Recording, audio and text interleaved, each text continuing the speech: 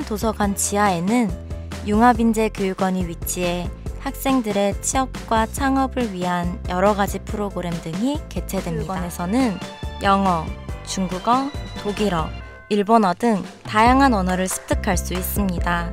또한 외국인들에게는